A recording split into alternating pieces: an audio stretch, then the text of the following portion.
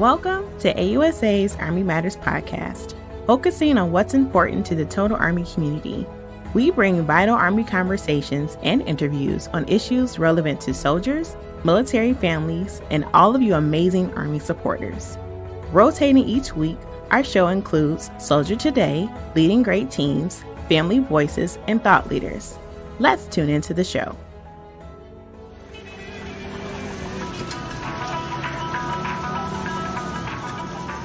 I arrived in Mogadishu on December 17, 1992.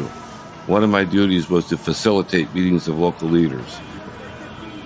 Almost daily, I would head off across town accompanied by a young Foreign Service officer and a Somali driver who carried an AK 47 and chewed constantly on the narcotic khat, a ubiquitous Somali stimulant. Looking back, these excursions seemed utterly harebrained. On one occasion, we were stopped by a primitive roadblock north of the Green Line.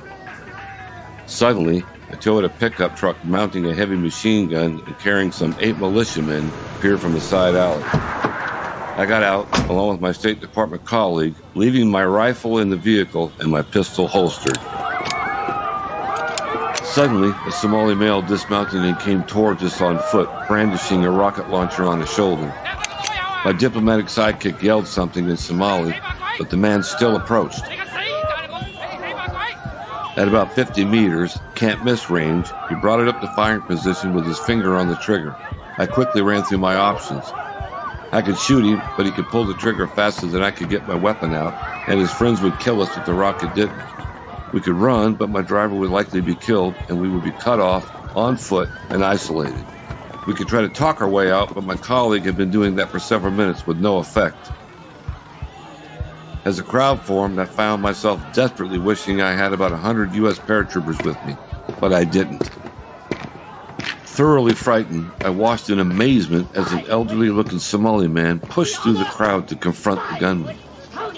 Carrying a long, slender stick, he shouted at my adversary, beating him across the arms and shoulders with the stick.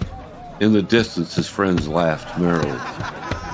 After a moment, the gunman sheepishly lowered the launcher and ambled away. Clearing away the roadblock, we continued on our way. That night, U.S. Special Envoy Robert Oakley chuckled as I told him the story. Ah, he was just having fun with you. These boys aren't going to take on the USA unless the big guys tell them to. And that's not going to happen.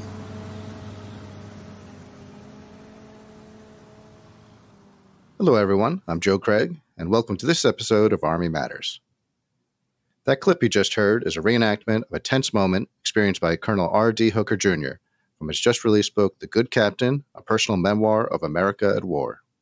With over 30 years in uniform, Colonel Hooker was part of operations in Grenada, Somalia, Bosnia, and Kosovo, as well as Iraq and Afghanistan. Across his career, he commanded paratroopers at the company, battalion, and brigade level. He also taught at West Point, served in several high level Pentagon assignments, and worked in the White House for four separate administrations. Colonel Hooker has written and edited six other books, along with numerous articles, but The Good Captain is his first book detailing his own experiences in service. Colonel Hooker, welcome to Army Matters. Thanks, Joe. It's great to be here. Well, you've had a, a long and varied career going from the post Vietnam Army to the global war on terror. And one of my colleagues, a young enlisted soldier, was particularly struck by the descriptions of your early days in service. So, what inspired you to join the first place, and, and how different was the Army back then? Well, a military career wasn't initially my long term plan. I joined the Army because the GI Bill offered an affordable way to maybe one day go to college. My father was a career Army officer, so I, I was an Army brat and was sort of brought up in the Army culture and way of life. And I probably was looking for a little bit of excitement and adventure. I knew I needed a little bit of discipline. And a, a short three year enlistment seemed like a great way to accomplish all of those things. But it, it turned into a 32 year career. So you went to West Point and, and did commission as an officer to go on to a great career. You know, you rose through the ranks and retired as a colonel after more than 30 years in uniform, as you say. So, considering that you retired as a colonel, why is the book called The Good Captain? Well, as I describe in one of the earlier chapters in the book, uh, I was on a, an exercise in the middle of an Alabama swamp in the in the middle of the night. One time as a young company commander, and uh, young soldier was complaining about the exercise. We had just done a, a night parachute drop and a very long road march with lots of heavy equipment. And uh, now he found himself in the middle of a swamp and he wasn't happy about it. And a young NCO, unaware that I was uh, standing nearby, uh, said, "You know the the captain. He's he's a good captain. He's just trying to train you for war, and you need to stop complaining and get on with it." I'm paraphrasing, of course. yes. And in a long career, I, I, I just really felt that was one of the the most meaningful accolades I, I ever received. One of the special things about soldiering that sticks in your memory after many, many long years. Well, a- after that uh, tenure as a company commander, you went on to teach at West Point and uh, then headed over to the White House. Now, I'm, I'm curious, how did a White House fellowship lead to you coming under fire for the first time? Well, it's a great story, and and I think I'm probably maybe the only White House fellow that ever got deployed to a war zone. I began my fellowship year at the tail end of the Bush 41 administration, and after the election in early November, as you'll appreciate, the work really winds down as people begin to look for new jobs and and the transition gets underway. One day at the end of the Bush 41 administration, my boss came back from the White House mess and told me he'd had a conversation with an NSC official named Richard Clarke and I needed to go see him, which I did. And Clarke said, We've just gone into Somalia. The ambassador, Bob Oakley, needs a military assistant. They tell me that you don't have much to do. So we want you to go to Somalia and uh, and work for him. And not knowing any better, I, I, said yes, sir. And the next night, I found myself on a C five headed to Mogadishu. Uh, I forgot to tell the army uh, though, so I got in a little bit of trouble after that. One of the more fascinating things in the book is is how at various points in your career you weren't afraid to push back against orders. For example, when your battalion was posted to the Sinai, you refused to fly a colonel to a requested spot, right? So for our younger officers listening, how do you know when to refuse an order? Well, that's an interesting question. In this particular case, this superior officer was in the wrong, I thought. He was asking for helicopters to fly to Tiran Island so that they could draw hazardous duty pay, he and his party. It was the only location in the Sinai where hazardous duty pay was authorized, I think because of a line on the map. I had seen this before on other deployments. I thought it was wrong, frankly, ethically wrong. And so I, I called him on it.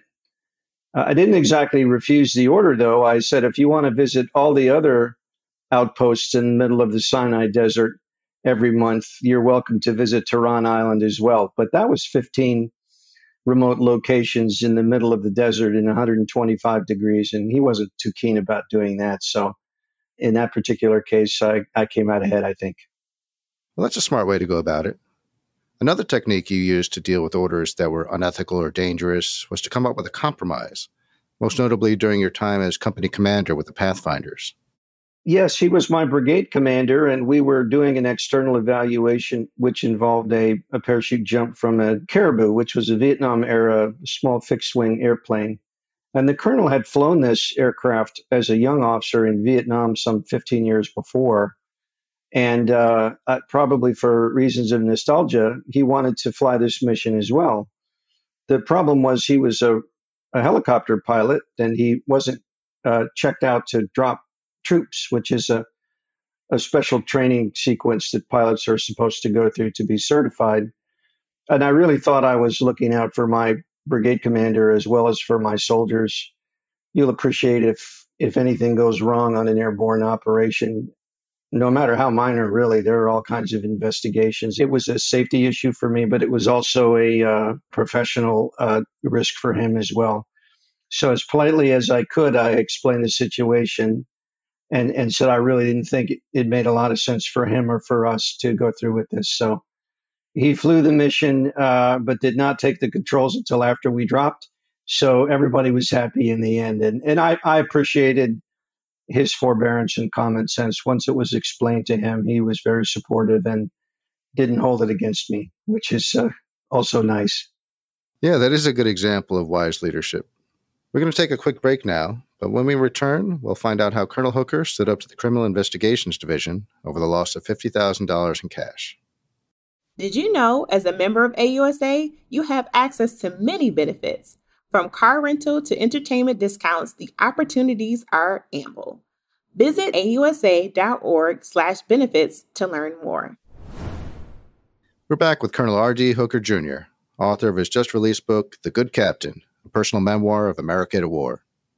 You talk quite a bit in the book about non commissioned officers and their role in leadership. Nick is one you mention quite often. Can you tell us more about your working relationship with him? I met him uh, in the early 80s when I was a young anti tank platoon leader. He was assigned as my driver.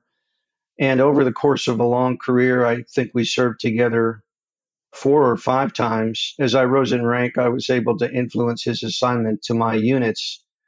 And I always found him uh, just a fount of common sense and wisdom. It's kind of a heroic figure.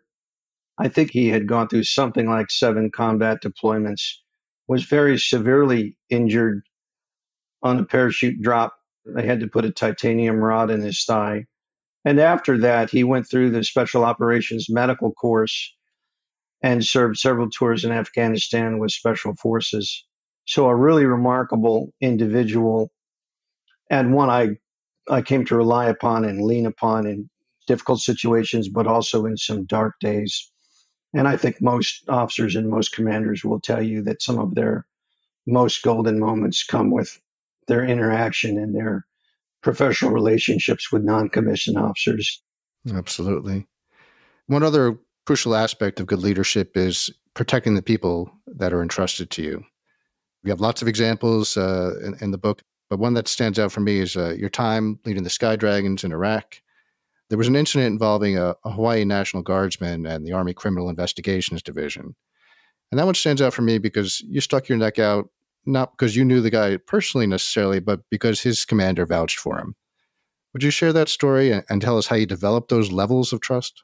Uh, yes. First of all, I had three National Guard battalions that were task organized under me. The infantry battalion from the Hawaii National Guard. They did an operation, a raid, which uncovered, among other things, uh, a massive amount of cash, which the CID agents on the scene took charge of. And later, uh, it was reported that some $50,000 had gone missing and the initial CID inquiry uh, placed the blame on the first lieutenant who had led the operation. And after consulting with the battalion commander, Ken Hara, I became convinced that the fault did not lie with the unit or with the officer, but elsewhere. And it took some strong measures to achieve the right outcome. But in the end, the missing money was located. It had nothing to do with the officer or the unit. One of those times, I think, where commanders really need to step up when they're convinced that they know the facts and they're in the right. You sometimes need to push the envelope a little bit to ensure that there's a fair and a right outcome. It's great to see how you got a separate investigation to make sure justice was done. Now, in addition to your time in the field, you had many high level assignments. You worked in the Pentagon, with the chairman of the Joint Chiefs, with the Army Chief of Staff, the Secretary of the Army. Which of those assignments was most meaningful to you? Well, they were all rewarding in their own way, and it's difficult to choose. I was a special assistant to General Shelton when he was the chairman of the Joint Chiefs. And many years before, he had been my brigade commander, and I had gotten to know him fairly well in that assignment. So it was special for me to be able to come back and work in his inner office and to be close to him for two years. But I also treasure my time working for Secretary of the Army Tom White a wonderful human being and, and really loved soldiers and loved the Army as an institution. And you were with him on 9 11, right? Yes, he, he was the Secretary of the Army on 9 11. We actually had just left the, the building after the, the World Trade Center had been struck and were about a mile away when the airplane flew right over us. So we saw it seconds before it impacted the Pentagon.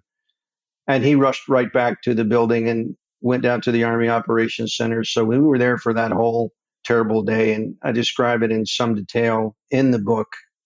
I thought his his leadership was remarkable for all the stress and and the drama that was going on, he was cool and calm and composed and very much in charge in, in that awful day. He was one of many that stood up to help guide the country that day. Your account of it in the book's remarkable. Now, in your final assignment, you were deployed to Afghanistan again, but this time your son was there. How did you balance the role of parent and officer?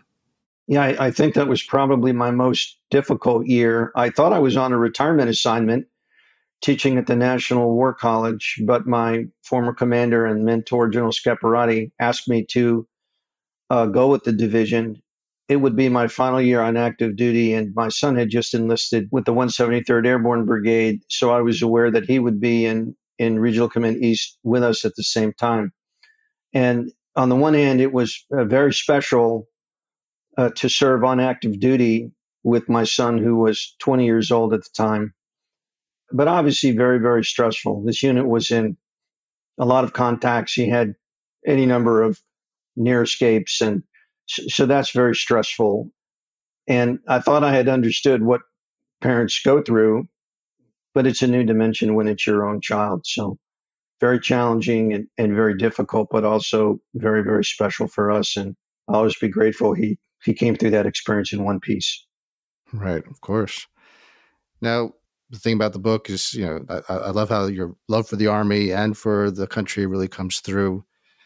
It's a book full of great stories, and there's also a lot of funny moments throughout. Would you share, a, you know, a favorite anecdote that shows the lighter side of an army career? Probably my favorite story has to do with uh, the time I was tasked as a second lieutenant to run a rifle range. And the range tower was an old World War II wooden structure. It's covered with about 50 coats of paint. And right as the general came up to inspect the range, I knocked over a camp stove I was brewing some coffee on and set the tower on fire. And I had to actually jump out of the tower really to avoid being burned to death. And I think I did a one of the best parachute landing falls I'd ever done in my career. Landed right in front of the general with my field jacket smoldering and uh, gave him a snappy salute and uh, announced that I was Second Lieutenant Hooker, the officer in charge of the range. And I was ready to brief him on the day's training. And, and right about then, the tower collapsed in a, a mass of heaping, smoldering, charred timbers uh, and I'll never forget, he just gave me a slight smile and said, Carry on, Lieutenant, and got in his Jeep and drove away. And uh, could have blasted my career, I suppose, but he chose not to. So I was saved to contribute, you know, down down the line. I'm I'm grateful for that.